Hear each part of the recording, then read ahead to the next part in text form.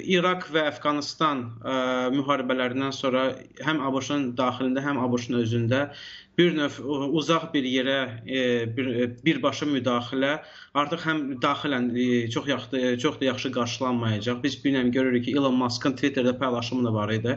İranın xəritəsini qoyub, ə, yəni yerləşdirib Twitterdə. İndiki X sosial şəbəkəsində və ətrafında Amerikanın bazaları və deyir ki, İran ə, öz ə, dövlətini bizim bazalara çox yaxın yerləşdirib və ona görə bizlə müharibə aparmaq istəyir. Bir də Amerika cəmiyyətində də narazıçılıq var ki, İraq və Əfqanistan təcrübələrindən sonra birbaşa müdaxilə olmasın. Düşünürəm ki, İran daxili hər zaman gərginlikdə saxlanılacaq. İrana bir növ genişləməyə imkan verilməyəcək və İranda nəsə baş verərsə, o da daxili biz bilirik ki, İran inqilablar ölkəsidir. Ancaq daxili dövlət çevrilişi ilə inqilabda nəsə baş veriləcək daha realdır.